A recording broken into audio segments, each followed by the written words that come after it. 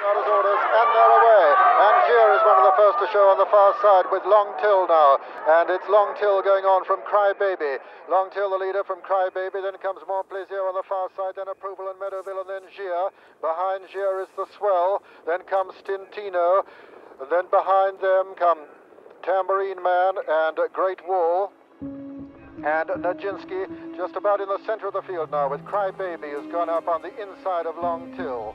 And it's Crybaby and Long Till disputing it ahead of approval. Then comes Montplaisir and Meadowville. Then Nijinsky, then the Swell. Then comes Gyr on the outside, and then Stintino. Behind Stintino is Great Wall, and Tambourine Man is the back marker for Long Till. Will you please get away from that fucking Give it a rest, thing? lady. We have just started. Yeah, be a bloody father. I'm not coming over there. Stop shouting at me. I'm shouting because I can't hear my own voice over that fucking TV. Two up at the moment, you stupid bitch. It's a good I'm sign. stupid, am I?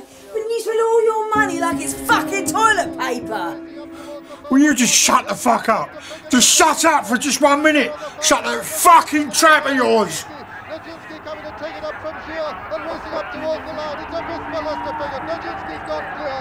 Nijinsky's the winner. Gyr is second. Stintino's third. I Fourth is Great Wall and five. I Meadowville. won. Six is the Swell and seven. Get in there, Nijinsky. I won. You won. You won shit.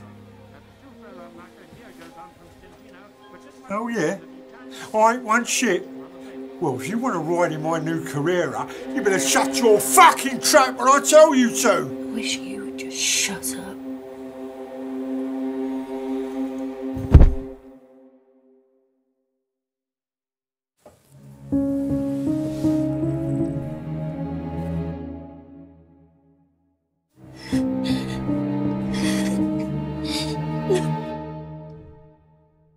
Rounding